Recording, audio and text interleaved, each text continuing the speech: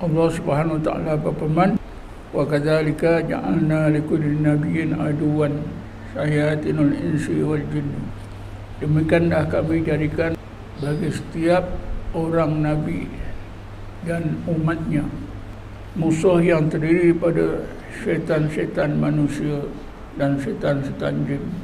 Inilah punca berbagai penyakit yang diderita oleh manusia zahir dan batin mereka walaupun kita telah dididik oleh pandangan perubatan moden bahawa punca berbagai penyakit ialah virus dan bakteria.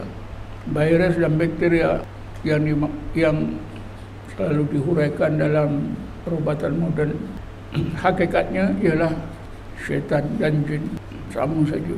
Dan ini telah pun dibuat kajian dan disimpulkan oleh ulama Islam seperti Syekh Muhammad Abdul Syekh Syed Redha bahawa jin dan syaitan itu adalah menjadi punca berbagai penyakit yang dideritai oleh manusia yang sama maksudnya dengan virus dan bakteria.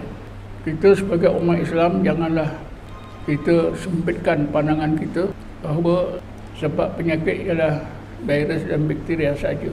Biarlah kita ikut pandangan Allah yang lebih tepat, lebih luas iaitu jin dan syaitan itulah yang menjadi punca berbagai penyakit. Dan jin jin dan syaitan ini ada dua jenis. Satu jenis manusia kedua jenis jin.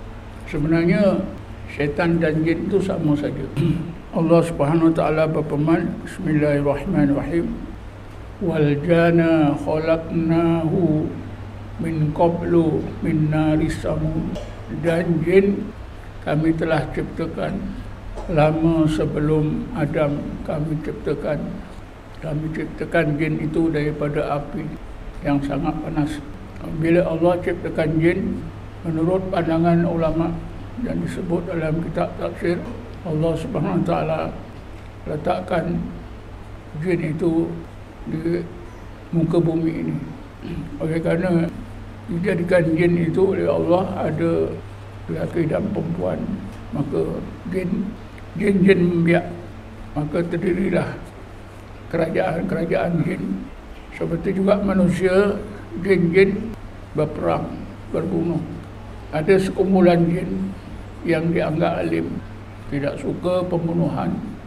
Lalu kumpulan ini berdoa kepada Allah supaya Allah pindahkan ke langit. Doa mereka dikabulkan oleh Allah dan mereka dipindahkan ke langit. Di langit mereka juga membiak apabila Adam sudah diciptakan oleh Allah maka Allah berfirman Bismillahirrahmanirrahim. Wa ikulna lil malaikati isjudu li adama wa sajadu illa iblis kana minal jinni. Apabila kami perintahkan kepada seluruh malaikat usjudu li adama Wahai para malaikat sujudlah kepada Adam. Maka mereka semua sujud kepada Adam. Kerana malaikat sifatnya sentiasa taat kepada Allah. Illa iblis kecuali iblis. Karena minal jin. Kerana iblis itu daripada jin. Sifatnya membantah. Jadi kita dapat tahu ya Iblis di langit yang asalnya duduk di bumi Minta dipindahkan oleh Allah maka Allah pindahkan ke langit. Bila Adam dah dijadikan, maka Iblis ada di langit. Perintah diperintah oleh Allah untuk sujud kepada Adam, Iblis tidak mau. Dalam ayat yang lain, aba wastakbara wa kana minal kafirin.